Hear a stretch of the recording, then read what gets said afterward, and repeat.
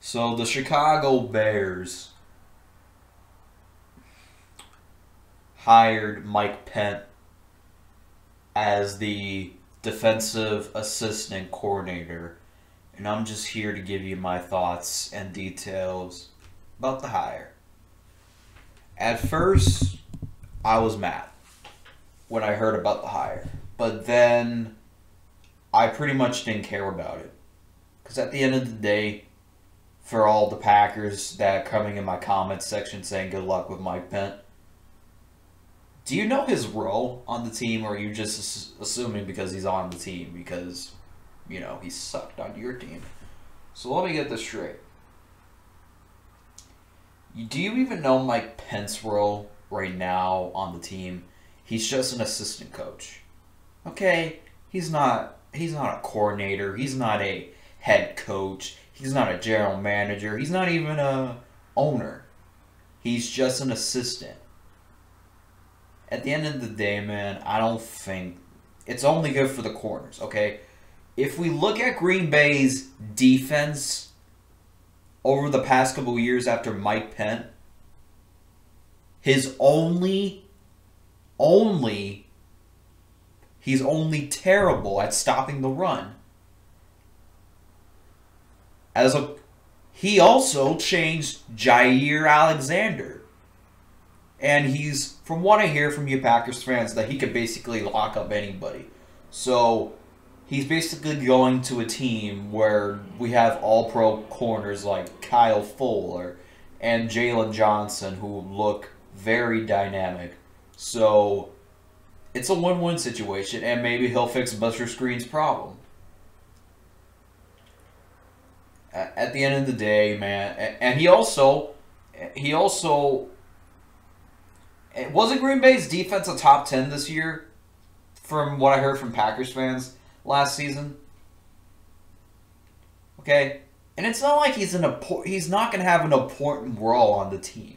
And you Packers fans act like he has an important role on the team that I do not know about. Maybe he maybe you know he's the head coach, but I'm sorry to break it down to you. He's not the head coach. You can you guys can look it up from yourself. But at the end of the day, you're just brainless Packers fans. And guess what, Packers production? Because I know you're probably going to do a video, maybe not, but just beat me. Packers production. I don't know why you're making fun of this hire. Well, number one, he's an assistant coach.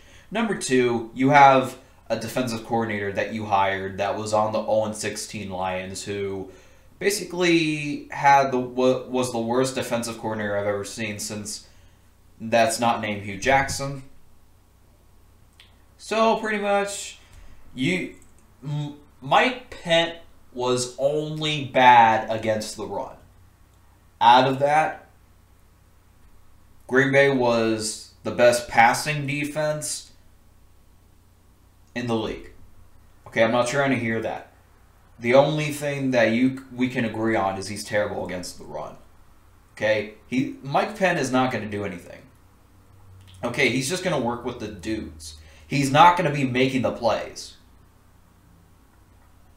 Okay, anybody with a football mind, a football brain, would know Mike Pettine is not going to do anything.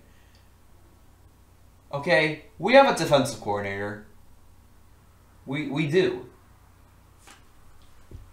His nickname is Doc. What's up, Doc? That's his name. And maybe, as a matter of fact, he'll give us secrets to your weakness. So I don't want to hear this Pettine bullshit. It's only good for the corners. And guess what, Packers? if you think Mike Pettine is was worse, wait till you see the guy that you hired. Because as far as I'm concerned, I'd rather have Mike Pettine than whoever the fuck you had. I forgot he existed. All I know is he was the defensive coordinator of the Lions, their 0-16 season. So guess what? You're going to a way worse version of your defensive coordinator as always, I'm I'm sure this is probably not the best hire as the Bears, but it's not like he's having a poor role. He's not calling the plays. He's just coaching the players.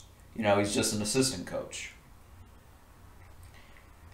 So, anybody with a football mind knows Mike Pettine is not going to call plays. And if you do, you are a fucking idiot. You're a naive Packers fan, like Packers or Shorty Productions. Shorty Productions needs a chip chair whenever he whenever he talks to his viewers. Oh, look at me, I'm Packers production.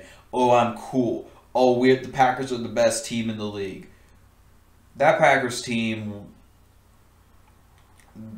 that that team lost to a 43-year-old man that probably had the worst second half of his career.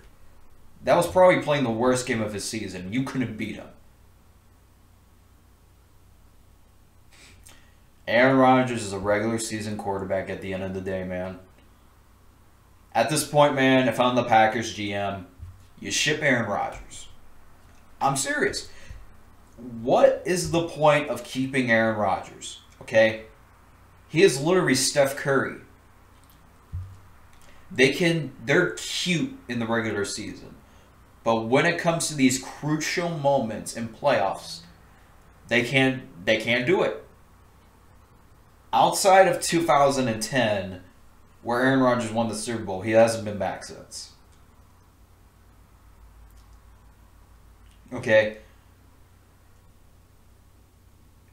And it's just the hard way that Packers fans are going to know. You basically got yourselves a worse version of Mike Pettine. If you say he's bad, but he's but at the end of the day, take you know what?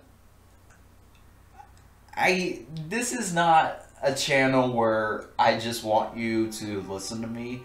This is a channel where you know, I'm allowed to do whatever I want on my side of the grass and you're allowed to do what you want to do on your side of the grass. Just don't come in here and start causing drama. Like Packers production and Mini 14. Okay, so uh, my thoughts on the hire, I don't. I think it's good for the corners. You know, how Mike Pettine, you know, changed Jaire Alexander. You know, Jaire Alexander was a top ten uh, quarterback, and how he changed Preston Smith, and uh, you know, Green Bay's defense. They're they're only terrible against the run, but when it comes to the passing game, you know, you gotta take it for where it's granted, though. And then you saw how he developed. Uh, Sullivan and uh, Adrian Amos, a former Bear, by the way. So, anyways, that's it. That's all. Um, I know this is probably ain't the best hire, but it's not like he's a defensive course. So, anyways, that's it. That's all. Subscribe as always. My name is Michael, and I approve this message.